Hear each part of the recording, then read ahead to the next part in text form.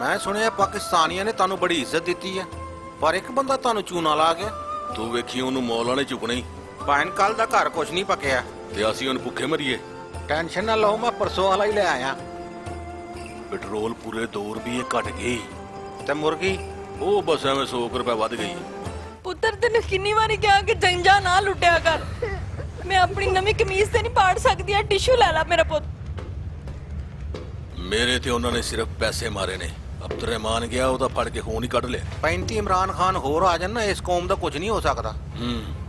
ਤੇਰੀ ਉਮਰ 'ਚ ਬੱਚੇ ਉੱਚੀ ਉੱਚੀ ਰੋਂਦੇ ਆ। ਬਸ ਕਰ ਤੈਨੂੰ ਐਂਪਲੀਫਾਇਰ ਨਾ ਲਾ ਦਿਆਂ। ਉੱਚੀ ਉੱਚੀ ਰੋਂਦੇ ਆ। ਇਹ ਬਹਾਦਰ ਬੱਚਾ ਆਪਣੇ ਪਿਓ ਤੇ ਗਿਆ। ਤੂੰ ਤਾਂ ਚੌਥੇ ਸੀਜ਼ਨ 'ਚ ਭੱਜ ਗਈ ਸੀ। ਲੇਡੀਜ਼ ਇੱਕ ਪਾਸੇ ਤੇ ਜੈਂਟਸ ਇੱਕ ਪਾਸੇ ਹੋ ਜਾਣ। ਬਾਬਾ ਤੂੰ ਤੇ ਬਹੁਤ ਠਰਕੀ ਲੱਗਦਾ ਪਰਲੇ ਪਾਸੇ ਮਾਰ। ਇੱਕ ਤੇ ਬੰਦਾ ਹੈ ਸੁਮਰੇ ਵੀ ਨਹੀਂ ਭੁੰਡੀ ਕਰ ਸਕਦਾ। ਪਾਕਿਸਤਾਨ ਟੀ20 ਸੀਰੀਜ਼ ਜਿੱਤ ਗਈ। ਜਾ ਕੇ ਪਤਾ ਕਰਾ ਕਿਹੜੀ ਦਵਾਈ ਖਾਣ ਲੱਗ ਪੈਣੇ ਸਾਡੇ ਮੁਲਕ 'ਚ ਸਾਡੀ ਟੈਂਡ ਕਰ ਦਿੱਤੀ ਏ। ਖਾਲੀ ਬੋਰੀ ਨਹੀਂ ਚੁੱਕੀ ਜਾ ਰਹੀ। ਚਲੋ ਵੀ ਚੀਨੀ ਵਾਲੇ ਆ ਜਾਓ। ਬਾਜੀ ਮੈਨੂੰ ਤੇ 5 ਕਿਲੋ ਚੀਨੀ ਚਾਹੀਦੀ ਆ। 1 ਕਿਲੋ ਮਿਲਣੀ ਆ। 8 ਘੰਟੇ ਖਲਾਰ ਕੇ ਤੇ 1 ਕਿਲੋ ਚੀਨੀ ਕੀ ਗੱਲ ਜੰਨਤ 'ਚ ਜਾਣਾ ਤੂੰ? ਜ਼ਰਾ ਸਾਧਨਾ ਇਮਰਾਨ ਖਾਨ ਨੂੰ ਸਾਡੇ ਨਾਲ ਲੈਣ 'ਚ ਖਲੋਵੇ। ਫਿਰ ਦੱਸੇ ਘਬਰਾਉਣਾ ਬਣਦਾ ਕਿ ਨਹੀਂ? ਉਹਨੂੰ ਸ਼ੁਕਰਿਓ ਤੁਹਾਨੂੰ ਪਾਣੀ ਦੀ ਜਗ੍ਹਾ ਤੇ ਦੁੱਧ ਦੇ ਰਹੇ। ਆ ਆਹੋ ਮੇਂਗਣਾ ਪਾ ਕੇ। ਜਾਓ ਫਿਰ ਜਾ ਕੇ ਭਾਂਡੇ 'ਚ ਵੜੋ।